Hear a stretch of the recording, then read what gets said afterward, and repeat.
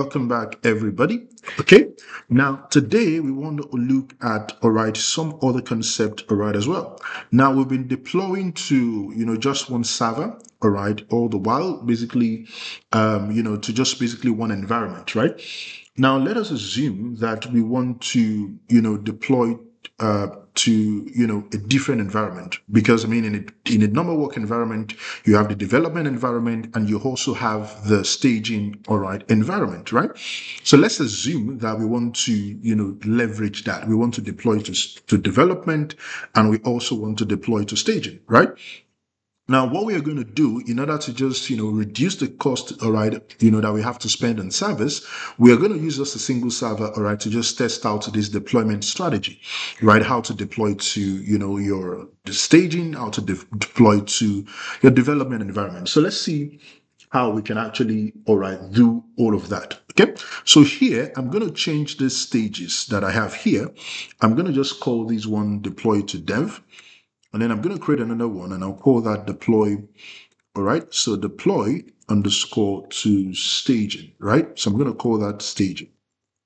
Okay. Now that is what I'm going to call that. Right. And then I'm going to come here. Of course, I'm going to copy back all of these that we extracted all the time. And then I'm going to make sure that I bring all of that back. Okay, so now that is back. So here already I have my build image, I have my push image, and then I have my deploy stage. Okay, so what I want to do here is basically, first of all, we need to update, all right, the URL, right? So we need to update this because I mean, from the last time the IP address of our server must have changed. So we can click on instances and from here, we can click on the dev server, all right, grab the public IP that you have here and make sure you change, all right, this, okay? And then you can also grab the public DNS endpoint and then you can replace that uh, with what you have right here. Okay. And don't forget to put your HTTP here. All right. I mean, to make it a complete URL. Is that okay? Now let's see what we can actually do. All right here. So if you scroll down, we have um, you know, if you scroll all the way down, we have deploy. So we can change this one to underscore deploy all right, dev, basically just basically identifying that. So we can say deploy underscore dev. So this is deploy to dev. And this, all right, basically belong to that stage, which is deploy dev, right? So we have that. So I mean, if you look at the stages that we have, we have the, all right, deploy underscore dev stage, we have deploy underscore staging stage, right? So we can pull that right here as well. So this is going to be in another stage, which is called deploy underscore dev. Now we're still going to be using our Docker, you know, runner, basically with the Docker executor. All right. And of course, we're still going to be using our Docker compose, uh, you know, for that particular purpose, right? So that is exactly what we're still going to be using. Okay. Now, all of this is fine, right? So what we can do here is basically to, you know, we can copy all of this, right? So we can copy this line like this, copy that, all right, and then you can use that to create another environment. So this can be deployed to staging now, all right, and then this is going to be deploy underscore staging. I mean, that's the new stage for that, right? Now here, under the environment, you can change this, all right, to the name of the environment. So this is going to be staging instead of, uh, you know, instead of development, right? And then you can change this one to staging, all right, endpoint. Okay. Now, since we're using the same server, it basically means that it's going to be the same IP, the same, all right, endpoint as well. So you can scroll all the way up all right and then you can just basically duplicate this but then just watch what i'm doing here. So you can duplicate these and then this can be all right so you can call this one okay the staging ip for example. All right so you can give that name you know staging all right and ip so let's say staging underscore ip and then here i'm going to call these all right staging all right underscore endpoint Okay. Now, don't forget, we have to change, all right, a few things. Okay. So for some kind of, you know, uniformity, we can also change this one to the dev, all right, IP. Okay. Now, what will happen is that this is going to change, all right, in some place. So you can copy that, all right, and scroll all the way down, all right, and then you get to your deploy the dev, and you basically, all right, have to change this one right here, right? So I mean, the name has changed to dev underscore IP, and then don't forget to change it here as well, all right? So change that also from there, Okay, and then do we have any other place we need to change it? I don't think so. Right now, this dev endpoint has also changed. So let's check what the new name, all right, is. So the new name, all right, is still dev endpoint, right? So that's okay. But for the staging, we need to copy this IP, which is the variable now. So we scroll down all the way to the deploy to staging okay? And then we can come here all right and basically change this. I mean of course it's the same ip anyway but then normally you're supposed to use different all right servers right? That would be the ideal situation but then we're just trying to save on cost here all right? And that's why we're using um, the same, you know, IP address and the same server for everything, right? So here we have the staging endpoint, which I believe it should still be all right, the same thing here. So staging endpoint. So that is still uh, very correct. Now, one thing that we need to know is this. Now, our development endpoint is for 3000, but staging cannot also be, all right, for 3000 because on your host machine, you can only open up one port, right, on your host machine to connect to your container port, right? Now, your container ports can use the same port numbers, right? But your host machine, you can't open, all right, you know, the same ports to the same appli- to different applications on your host machine, right? So if you have two applications, they have to use different ports on your host machine right? They cannot use the same port. I mean, that will cause a lot of confusion. In fact, your container is not even going to start. So what we, we can do here is that we can actually change this. So we can say from here, let's say staging is going to use port 4000 on the host machine. At the same time, it's still going to be connecting to port 3000, all right, of the container port. But then for from the host start or from the host side, it is going to be what? Port 4000, right? So that is one thing that we need to know right there. Okay, so let's change that, all right, to port 4000. Then let's see uh, what we can actually do. Now, we are deploying, all right, with, you know, Docker Compose. So it means also that we need to do some, you know, some, um, you know, so, some things has to change, right, in the Docker Compose file, right? We need to change some things there because, I mean, if you look at the Docker Compose, we're still saying that everything is connecting on port 3000 to port 3000, right? That's what we still have here. So if we deploy what we have like this, definitely we're going to run into error. Now, the, the dev can start, but the staging, all right, will not start right? So we need to change, all right, some parameters right there. So here under the dev, all right, stage, we need to add one more, all right, variable here. All right, we need to add one more variable right here. Okay. Now here we can come here and say export. All right, so let's export this. All right, so we're going to say export DC underscore app, all right, underscore path. And then we're going to say all right, for this one, the port is what? Is 3000, right? And then don't forget to, all right, it's 3000. And don't forget to put this right here. All right. Now, another thing here that we need to pay attention to is that now we are changing the port to port 3000. Okay. But do you know that when we start our Docker Compose, the Docker Compose will start with this name app, right? I mean, you can go actually to the server, for example. Now on the server, if I do Docker PS-A, right, I can see from here all right, you know, some information right here, okay? But of course, we don't have anything here just yet, right? So we can come here and do Docker images, all right? So we can see with that we have a lot of images here, right? I mean, we have quite a number of images that we actually need to clean up, okay? So let's do something here. So we can do Docker prune or Docker system. So let's come here and say Docker system, all right, prune hyphen AF, right? So you can pull that, all right? I mean, that would just basically just clear up your environment, you know, all the containers that are no longer running, all the images that are not attached to any container. That command is basically just going to clear them, all right, for us automatically, right? So let's clear up our environment, all right, and let that happen, okay? like that. Now here we have this 3000. This is basically the host port and this is the container port, right? Now we need to make some adjustments right here. So what can we do? How can we just do these adjustments? So now instead of coding the port numbers like these, we can actually just, you know, reference that variable, right? So here, so we're going to say here, open your brace, all right? And then we're going to say DC underscore, all right, app underscore path, all right? And then we basically just close that and then we can say colon, all right, 3000. So basically what we are doing with this one now is basically to say that the app port should be gotten from here. All right. But at the end of the day, the container port should remain, all right, port 3000. That is basically what we're saying here. But there is still a little problem, right? Because, I mean, the Docker container is going to start with this name, right, as the service, which is going to be app. Right? So we need to do some kind of name change so that, I mean, our container can start with things like the dev container, and then we can also say the staging container so that the containers can have different names, right? So they won't have the same name, which can also cause, all right, a challenge. Because, I mean, if Docker Compose sees that a container is already running with that particular name, it basically will not start the second container because, I mean, two containers cannot technically have the same name, right?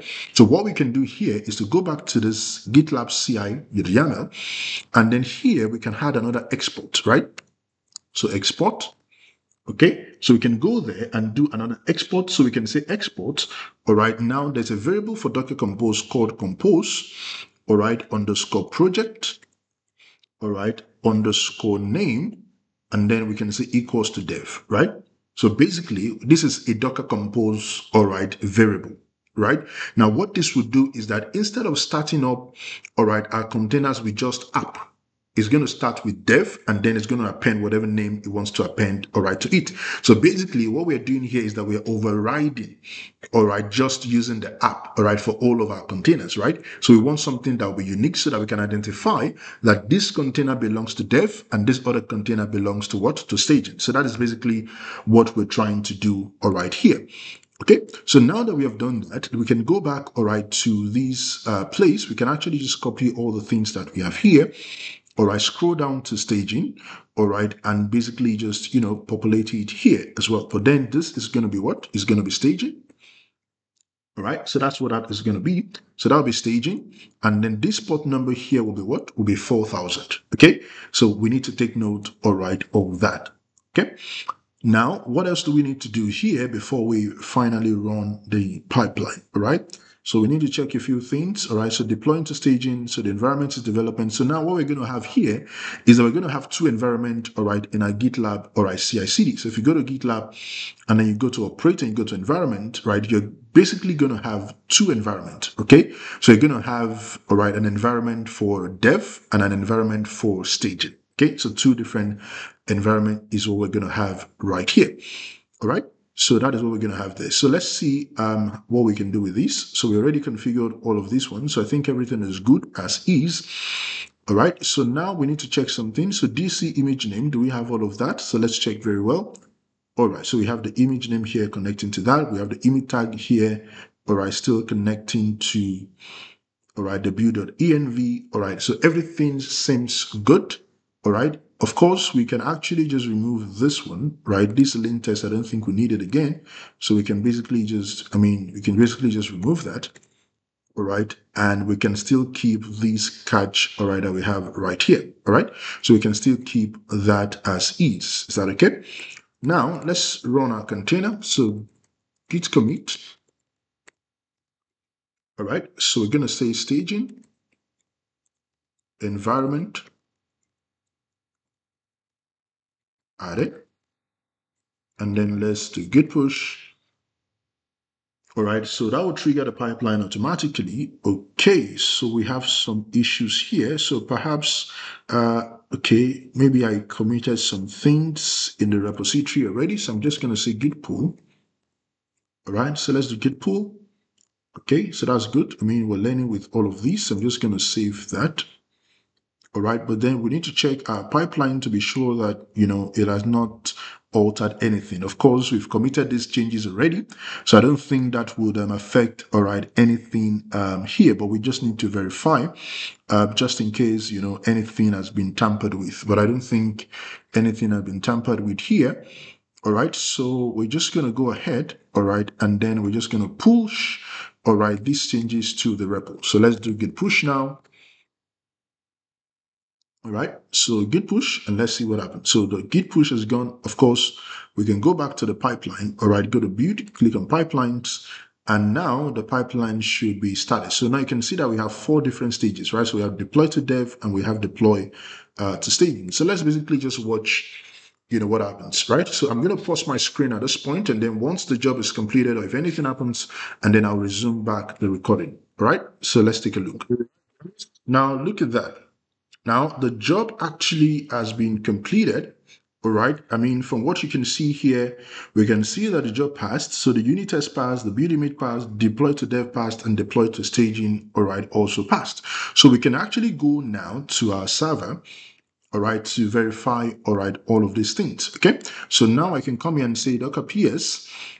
Okay, so let's see that. Um, which server am I on? Okay, I think I'm on the wrong server actually right? So let me go back and see uh, what server I am on. This is 31, 29, 39. So see, oops, I'm actually on the wrong server. So I'm actually on the GitLab runner server. So I'm not on the dev server. So that's why, you know, we have all of that. So let me just copy this to connect to the correct one. So I'm just going to exit here.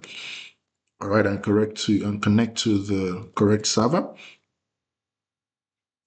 Okay, so here we're just going to do git sorry, not git, pardon me. So Docker PS. All right, now look at what we have here. Now you can see here that we have dev and then it appended the app and then one, right? And then you can see here that we have staging, all right, one. Now, if you have not configured, all right, that particular, you know, configuration that we did right here, basically specifying the project name for the Docker Compose, now it will have created the two containers with the same name, which will have been, you know, maybe app one, app one and that will have resulted into, all right, a failure right? But you can see here that our staging now is connecting on port 4000, but of course it's still directing that traffic to the same container port. But of course, in Docker, you don't have that issue, right? Your containers can basically be using the same port. What matters actually is the host port. So the host port should differ, all right, from each other, but the container port can actually be the same. All right. So here, port 4000, of course, will be directed back to the port 3000 of this container. And this one will be directed also to the port 3000 of the container port, right? So now Docker is basically seeing these as different containers, right? So these are different container and this is also a different container and they are basically, all right, isolated from one another.